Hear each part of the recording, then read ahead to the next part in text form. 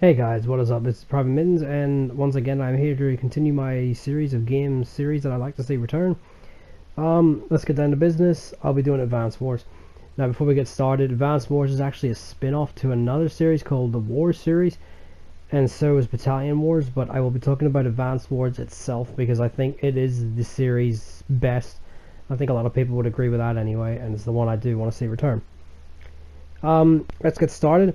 Advance Wars was released for the Game Boy Advance back in 2001 to really good reviews. It's sitting on a 92% on Metacritic, so that shows it's AAA beyond. That's actually a very good review for a handheld game that's not Mario or Zelda. Um, then we got Advance Wars Black Hole Rising for the Game Boy Advance in 2003. This is sitting at an 89% on Metacritic. Once again, really good review.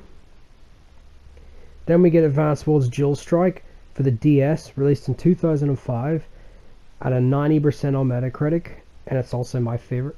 Um, Advance Wars Days of Ruin was the final one released. This was for the DS. This was released in 2008. This is sitting on an 86% on Metacritic. Yes, it's the lowest rated in the series, but it's still a AAA score. So, as you can see, the whole series is very highly uh, reviewed and regarded by fans and critics alike.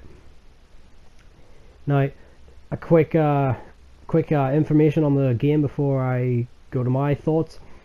They're turn-based strategy game, very similar to uh, Heroes of Might and Magic or XCOM or Valkyria Chronicles.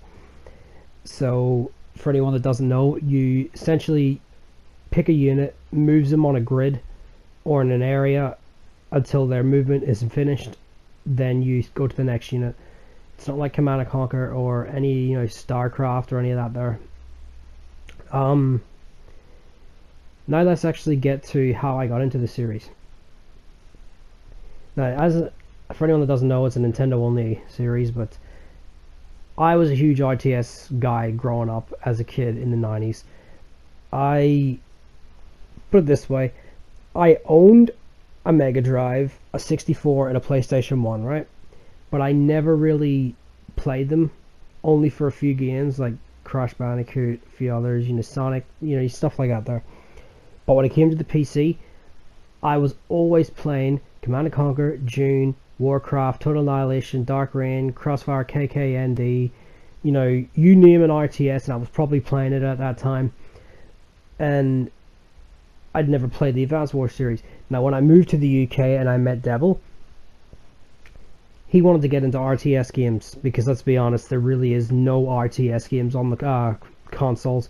Even back on the PS1, all you really had was a few PC ports like Command & Conquer and Dune and Warcraft 2. But uh, he wanted to get into RTS games. So I said to him, okay. So I got him into Command & Conquer I got him into a few other games. I think it was Total Annihilation and uh, War of the Worlds.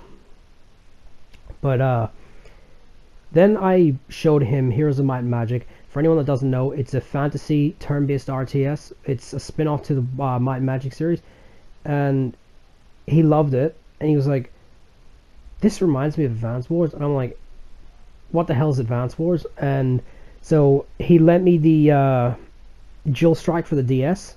It was the first one I ever played, so yeah, I came into this series very like Dual Strike must have been about a year old when he lent me it. So I fell in love with Dual Strike. I like no joke. I would put that game at least in my top 10 RTS games ever made.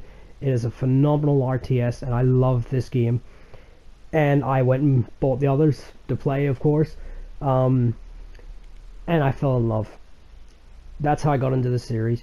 Now, what I would like to see from the series added to it, I think the series needs online because it's never had it, and I, I do believe it needed it. Um, I think the series also needs customizable characters. Now, the series has like an anime aesthetic. Keep that aesthetic, that's fine, but go with like a, you know, customize the characters look, you know, all that there, and then you know all that shit and for anyone that hasn't played this series before, you essentially every character has an ability. One character could have like your units get a, a speed buff, uh, you know, buff. one could make your units stronger for a certain amount of time the other can make your units like all units that are damaged you know get repaired um, it's similar to like a super move in you know like a fighting game or something have like make your own character and you know you can choose like a certain special move and put it on your character. You know something like that there also a 3d world. Now the game is a 2d rts which it looks very you know you know a 90s style design. That's what it was supposed to look like. That's fine but i think they should go into a 3d environment. It can still remain turn-based give it like you know the XCOM treatment. Hell, Firaxis Games, the ones that do XCOM, they'd be a great ideal developer to get you know to actually work on this.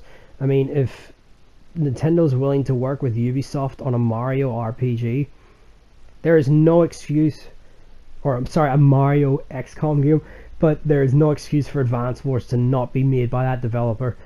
And we haven't seen this game, this series in nine years.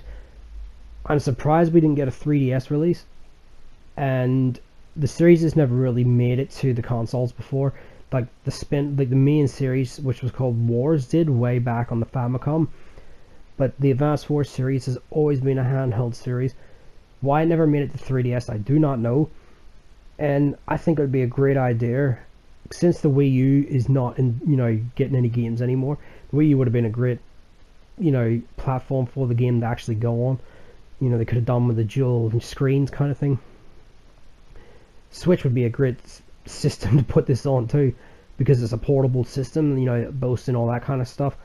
Advanced Wars needs to come back. I mean, more units, more abilities, customizable characters, customizable maps too. Actually, give it you know like that you know map editors you got way back in the day for you know the Command and Conquers, you know Heroes of Might and Magic, shit like that. And just overall a really good story along the lines of say Battalion Wars. But uh, that's all I could think of. Oh no no no, there's actually is a couple of other things. As I said for the online, right? About give it with the online? You know, you can share maps. You know, share customizable characters. You know, like other games, like say like Halo did with you know its Forge maps. Along the lines of that, where you can share it with other people. Um, customize the uh, you know the camouflage of your units you know. If you want to go into war with a pink army why not? You know just some you know run it doesn't have to be realistic kind of thing. But yeah. That's all I've really got to say guys.